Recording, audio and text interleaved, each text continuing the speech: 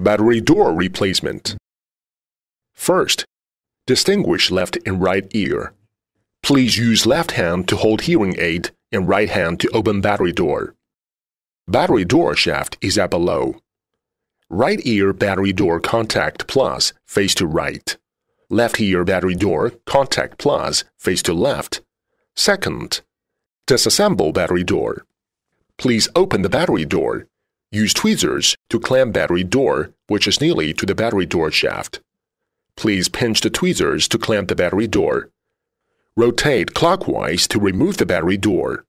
Third, battery door installation. Please clamp battery door.